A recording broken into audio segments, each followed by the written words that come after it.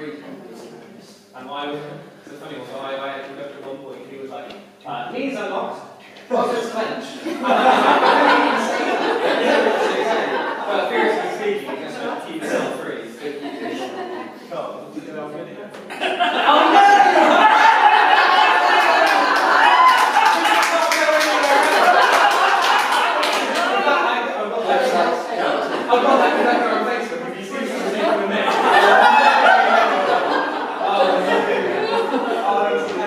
Posting